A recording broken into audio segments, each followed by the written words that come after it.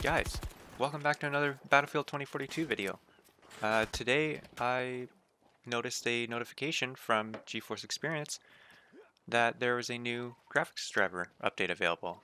Now, that's not any big deal usually, but when I checked it out, it showed that the graphics driver update had some significant Battlefield 2042 updates in it. Um, some of these were related to DLSS and ray tracing. Now, the one that stood out to me most was DLSS because in most games with DLS, DLSS, uh, there's a huge FPS difference with having it on and off. Uh, this whole past week I've had it turned off because as far as I know from what other people have told me and what I've seen for myself, there was no difference with having it on and off in the settings. Yet now, according to the testing I did this morning, which I'm showing in this video, uh, it seems to work. I'm getting a 20 to 30 FPS difference in game. Now, everyone's going to experience a different FPS difference here. Uh, personally for me, I'm running a 1440p monitor uh, at 144 hertz.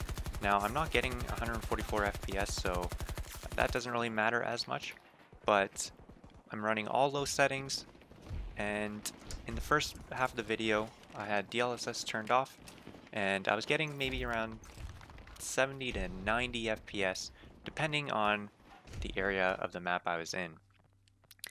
Uh, halfway through the video, I'm going to show you guys how to turn DL DLSS on. Now, when you turn DLSS on, they don't say it, but I always recommend it. Restart your game after you've made any graphic changes on Battlefield 2042. Uh, there's been many times this week where I go and tweak some settings, and then my game just seems to run the exact same. Yet once I restart my game, everything runs beautifully and as expected of the settings that I had set to it. Um, yeah, so I am super pumped for this new graphics card update.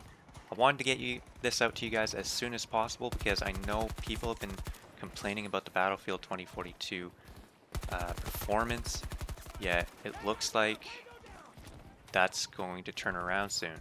And little bit by little bit, we're going to get better performance. This is just the first step.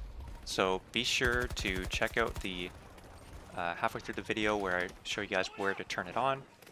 Ensure you guys restart your PC. That is important. Or restart the game. You don't have to restart the PC. It's my bad. I mean, that would definitely work, but just restart the game. Hop in a map, uh, match and like let me know what your guys' FPS difference is. Yeah, have fun battling on the battlefield, guys. I'll see you in the next one. Later.